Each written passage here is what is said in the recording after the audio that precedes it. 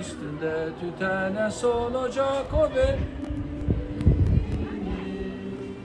Yıldızıdır parlayacak o benimdir o benim milletimindir ancak çatma kurban olayım çehreni ey nazlı hilal kahraman ırkıma bir günle bu şiddet bu celal sana olmaz dökülen Kanlarımız sonra helal hakkıdır. Hakka tapan milletimin istiklal.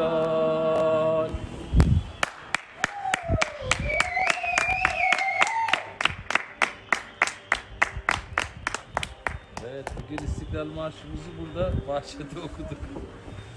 Evet, vallahi bütün e, milletimize tabii önce sağlık e, diliyoruz. E, bu güzel bayramımız kutlu olsun. 100. yıl özgürlüğün e, e, çok değerli bir adımı Millet Meclisimizin kulun- kurulması ve e, egemenliğin millete ait olduğunun imzasının atıldığı an. E, Atatürk'ün e, bize emaneti meclisimiz ve cumhuriyetimiz ve elbette ki istikrarımız, özgürlüğümüz hepsi e, akıldan, bilimden uzaklaşmadan, ters düşmeden yol yürüme bilinci. E, bunu ruhumuzda taşıyoruz, çocuklarımıza emanet ediyoruz. Çok mutluyum ki çocuklarımız çok bilinçli. Bütün çocuklarımız için bunu konuşuyorum ve gerçekten e, bu tabii 100. yılın e, biraz e, ne diyelim e, üzgünüz. E, bayramımızı e, bambaşka kutlayacaktık. Hazırlıklarımız vardı. Çocuklara emanet edilmiş dünyanın tek bayramını dünya çocuklarıyla kutlayacaktık.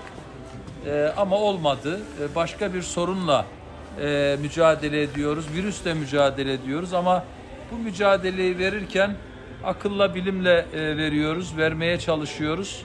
Ee, inşallah bu süreci bitirdikten sonra 23 Nisan'ı İstanbul'da yine doya doya e, kutlamayı düşünüyoruz. En, en kısa zamanda atlatalım istiyoruz.